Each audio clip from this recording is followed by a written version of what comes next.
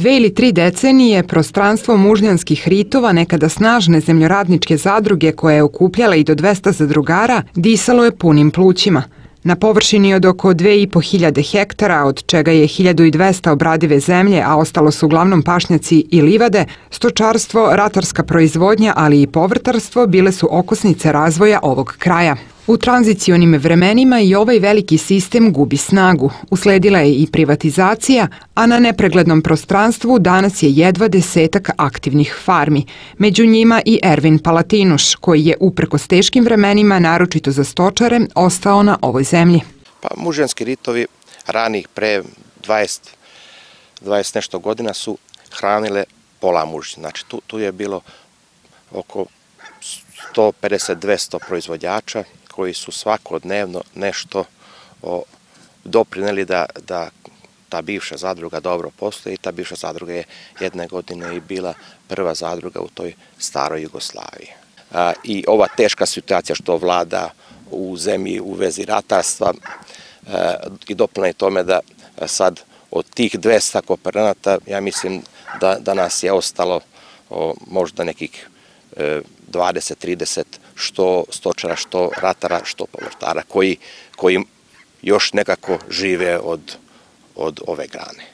Pa ja sam ostao jer, jer vol, vol, prvo volim ove prostore, volim ovaj posao što radim, tako da, da a, ću među, ako treba, među poslednjima ću da odem odavde. Pre 15 godina na ovoj farmi počela je proizvodnja mleka. Bilo je tu i uspona i padova, dobre i lošije zarade. Stimulacije u stočarskoj proizvodnji su ostale, pa se tako očekuje opstanak stočnog fonda. Međutim, cena mleka u otkupu, prema rečima našeg sagovornika, je dosta niska da bi ispratila sveobuhvatne ulaganja poljoprivredna proizvodnja, bilo to ratarska proizvodnja stočarska, bez, bez subvencija ne može da živi, ne samo tu, nego ni, ni, na, ni, na, ni u jednoj državi u svetu.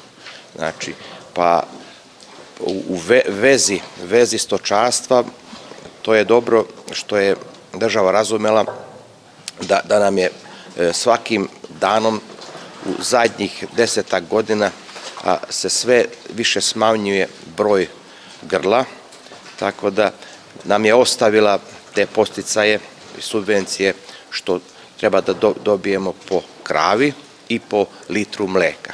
Znači, to je za pohvalu, ali al mi ipak e, e, sto časov bez ratarstva ne može, ni obrnuto, tako da, da e, nas, o, smanjenje subvencije što po hektaru, to nas stavlja u jedan stvarno težak položaj. Ako gledamo euro, 2008. godine bilo je 50 euro centi i mleko. Znači, to je pre 8 godina. A sad, sad je mleko u dinarskom iznosu isto, sa, ista je cena, samo što je euro o, ovaj, poskupio, tako da sad nam izlazi i cena mleka, ako gledamo euro, u pola cena, znači oko 25 euro centi, što stvarno ovaj, e, ne može da prati na, naš e, e, uspon ako bi želeli da, da, da nešto stvaramo i nešto da, da kupujemo u, u, u, u vezi naše farme. U dva objekta smešteno je 98 grla. U laktaciji je trenutno 40 muznih krava sa dnevnom proizvodnjom od 350 litara mleka koje se isporučuje Zrenjaninskom mlekoproduktu. Ta saradnja je čvrsta i stabilna od samog početka. O proširenju kapaciteta ili modernizaciji objekata sada je teško govoriti ako se u obzir uzme sveobuhvatna slika srpskog stočarstva i neizvesnost i u ovoj grani.